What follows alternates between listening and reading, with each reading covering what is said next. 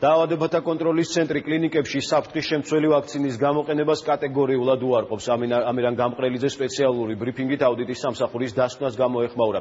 დოკუმენტის მიხედვით საქართველოში ჯანმრთელობისთვის საშიში 29000-ზე მეტი ვაქცინა გაიხარჯა, რომელიც ჯანდაცვის მსოფლიო ორგანიზაციის საგანგებო რეკომენდაციით მოხმარებიდან უნდა ამოღებულიყო. გვანცა გავაშელი განაგზობს თემაზე საუბარს პირდაპირ ეთერში გვანცა გისმენთ. დაავადებათა კონტროლის ეროვნული ცენტრი დეზინფორმაციას უწოდებს აუდიტის სამსახურის მიერ გაკეთებულ განცხადებას იმის თაობაზე თითქოს ორი წლის განმავლობაში სახელმწიფოს მოიხმარდა უვარდის ჯანმრთელობისთვის საშიშ ვაქცინას იმუნიზაციის პროგრამის ფარგლებში. ამიდან გამყრელიძის განცხადებით საუბარი ეხება ცოფის საწინააღმდეგო ვაქცინა ლიზავაქს, რომელსაც ქვეყანა წელიწად ნახევრის განმავლობაში იყენებდა. რაც შეეხება თავად ამ პრეპარატს, ჯანდაცვის მსოფლიო ორგანიზაციამ გასცა რეკომენდაცია, რომ სახელმწიფოს ჩაენაცვლებინა აღნიშნული პრეპარატი, როგორც ამიდან გამყრელიძე საპრელძე ამბობს ეს პროცესი დაახლოებით თვენახევარში დასრულდა და ის პირები რომლებიც ლიზავაკით აიცრნენ არანაირი დააზიანება მათ არ მიუღიათ და მათი ჯანმრთელობის მდგომარეობა არ გაუარესებულა ის რაც წერია პუბლიკაციაში რეალობას არ შეესაბამება და ამ საკითხზე დაავადებათა კონტროლის ცენტრს გაცემული აქვს რამოდენიმეჯერ არგუმენტირებული პასუხი აუდიტის სამსახურისათვის. მათ შორის გუშინ წინ სპეციალური სხდომა შედგა აუდიტის სამსახურში, სადაც ჩვენებმა დაუსაბუთეს იმ საკითხის მართებულობა, რაზეც დღეს აუდიტის სამსახურის პუბლიკაციამ გამოიწვია აჟიოტაჟი. და აუდიტის სამსახური დაეთანხმა დაავადებათა კონტროლის ცენტრის არგუმენტებს და იყო შეპირება, რომ ეს საკითხი მოიხსნებოდა. ეს ვაქცინა გახლავთ სოფის ვაქცინა და არა ის გეგმიური ვაქცინები, რომელიც ჩვენს ბავშვებს უკეთდებათ კალენდრის მიხედვით. ვაქცინა იყო ჯანმრთელობის მსოფლიო ორგანიზაციის მიერ პრეკვალიფიცირებული.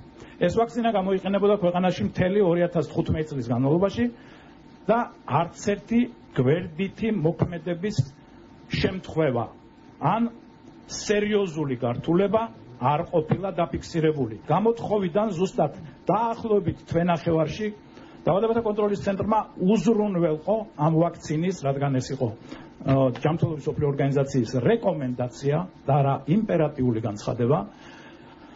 ამ ვაქცინის ჩანაცვლება ახალი ვაქცინით და მარტის დაახლოებით 20-დან 2016 წლის ქვეყანაში გამოიყენებოდა ახალი ვაქცინა. პრეკვალიფიკაციას ვაძლევთ ყოველთვის უპირატესობას, იმიტომ რომ ეს არის ჯანმრთელობის სოფლიო ორგანიზაციის მიერ, ასე ვთქვათ, უმაღლესი ხარისხის გარანტია.